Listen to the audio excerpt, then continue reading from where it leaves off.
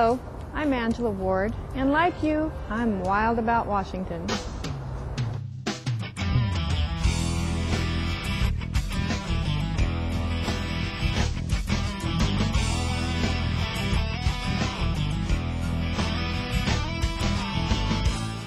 The cold winter winds are blowing.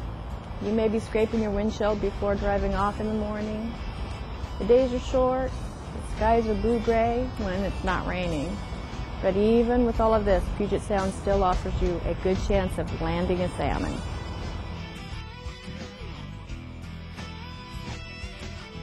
The salmon species that spawns the latest in Washington are our chum salmon. Typically they enter our rivers in November and December. Um, they provide opportunities for those folks that just want to get out and catch that one last fish or fish all the way through till steelhead season starts. The other interesting aspect is that our chum salmon fisheries are often in places where folks don't need an expensive boat. They don't need a boat at all. They're shore-based generally, and we have a number of good rivers. And in December, we can still catch good numbers of chum um, in rivers such as the Skagit, Skykomish, the Nooksack, the Green. Um, the best one in December is going to be the Nisqually. That's the one that has the highest catch in, in December of all of our Puget Sound streams. We're fishing on fish that are basically attempting to go up and spawn. And we have to make sure we manage those fisheries so that we leave enough fish to go up and spawn. But folks are going to catch fish uh, either accidentally or it just happens that they catch fish that they don't want to keep. Uh, the fish might be a little dark or it's the wrong species.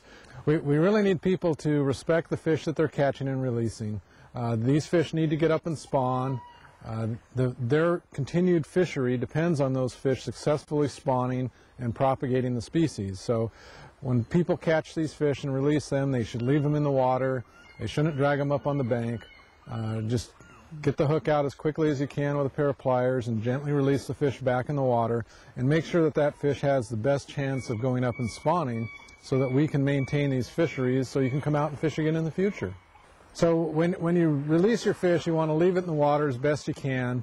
And even if you're in a difficult place up on the rocks, maybe use a net if you have to, but try to leave the fish in the water. Uh, Josh from Auburn here is going to show us how to do it on a chum in a really difficult place, and he does a really good job of releasing the fish without dragging it up on the bank.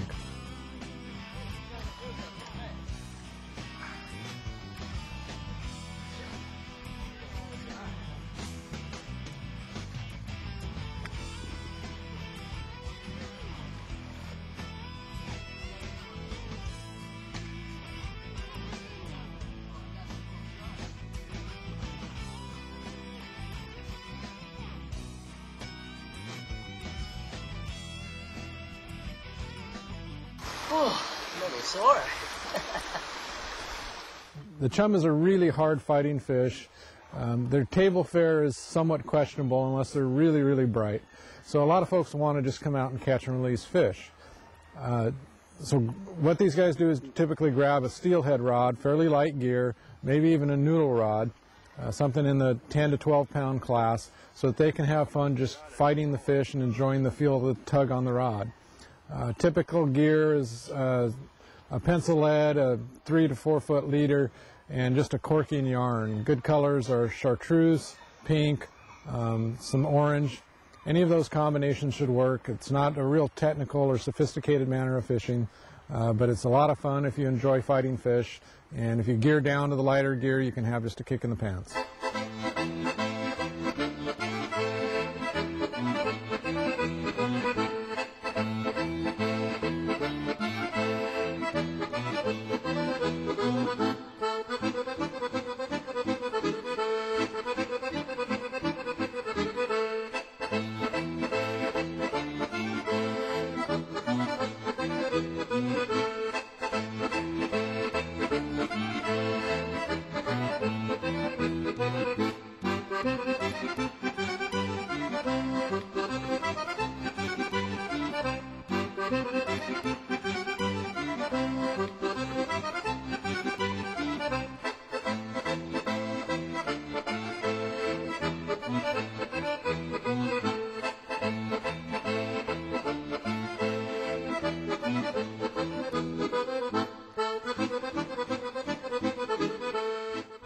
Part of our agency's efforts to reestablish historic salmon runs in many of our rivers includes a simple technique. At the right time of year, planting dead salmon in a stream will attract new spawners while providing other benefits to our ecosystem. We're in the Tucannon River in southeastern Washington in Columbia County, and we're doing some stream nutrient enrichment by putting salmon carcasses out into the river. The salmon carcasses come from the hatchery. We collect them at the Tucannon River Fish Hatchery adult trap, and we take them to the Lions Ferry hatchery and spawn them. We're working with Tucannon River spring chinook, which are listed as threatened under the Endangered Species Act. Due to the low runs in recent years, this has decreased the amount of nutrients available to younger fish. Um, the adults, they, they decompose in the river, which provide nitrogen and phosphorus, which helps the algae and aquatic insects um, thrive, which the young juvenile salmon feed on the aquatic insects. So with higher numbers of aquatic insects, we have um, healthier and, and larger young salmon. It's a, it's a chance for us to give back uh, to nature what, what we sometimes take out, uh, the fishing groups and people that love to fish and, and see what's happening with uh, fish life. This is just one more way that we're trying to restore salmon in southeastern Washington. Some valuable wildlife habitat near Ellensburg is being improved through a scientific method of thinning the forest. While it may sound and look like a tree harvest, we're really returning this area back to its historic makeup.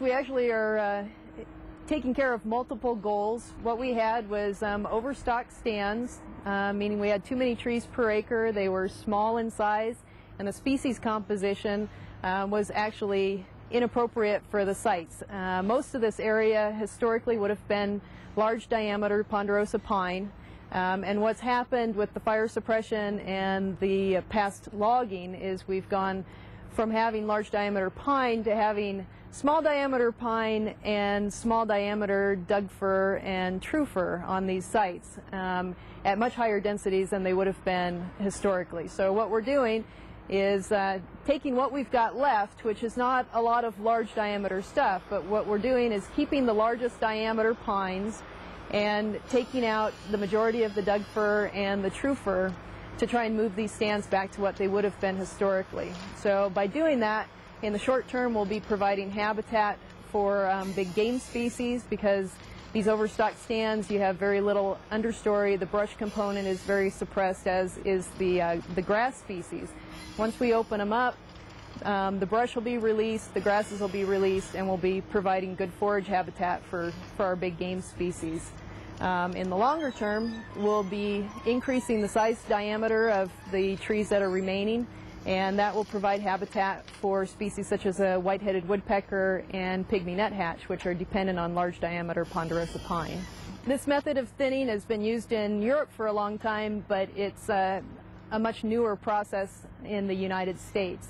Um, it's very mechanized. Um, basically what they, they have is a feller processor that uh, actually cuts the tree, delimbs it, and cuts it to length all right where it does the, um, the cutting of the tree, which means that uh, the limbs and tops are all left um, on site rather than being brought up to a landing. It also means that, that they are able to use that slash to um, move on, and so the disturbance to the ground is much reduced. One of the big benefits of this is that we are reducing the risk of catastrophic fire um, by opening up these stands. The chance of it getting up into the crown and, and um, burning large areas is reduced. Um, the other benefit of it is actually that the insect and disease um, potential for these sites is reduced, at least um, an epidemic levels. What we're doing here is actually very experimental, but it's extremely good for um, wildlife it's good forestry, and it's, it's in the public's interest. Combine a dedicated teacher, involved parents, young science students, and the Department of Fish and Wildlife's environmental education program, and you have a formula of exciting and hands-on education. Here is a story on just one of those programs being offered at a Thurston County grade school.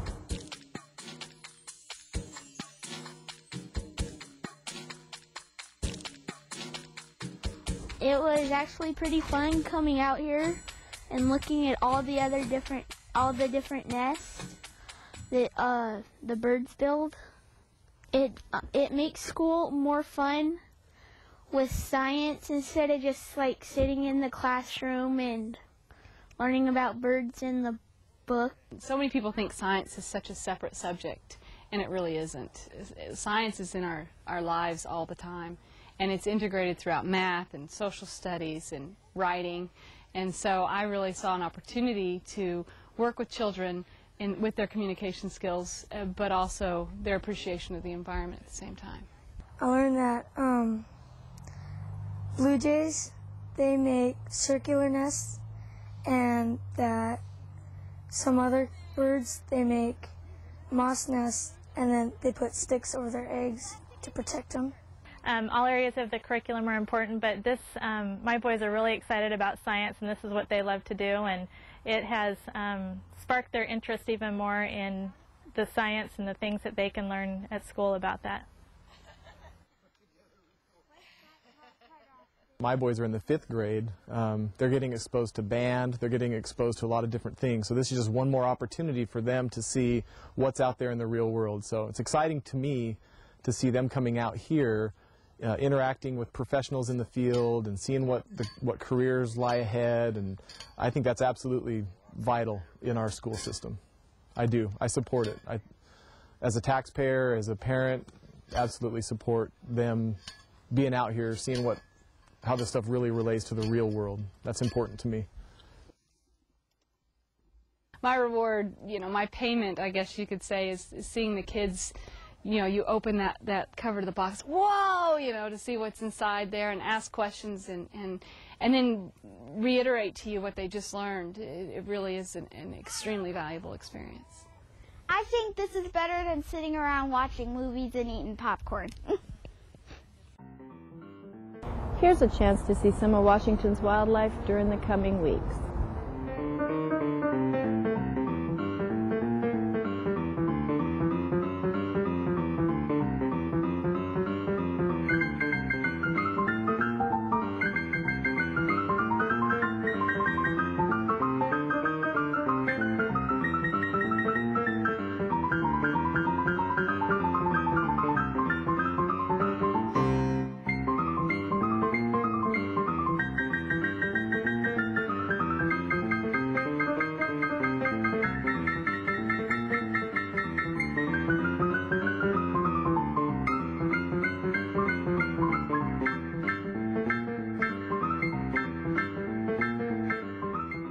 This has been Wild About Washington, brought to you by the employees of the Washington Department of Fish and Wildlife. Working together, we can keep Washington's outdoor heritage for future generations. Thank you for watching, and please join us again, and have a safe and happy holiday.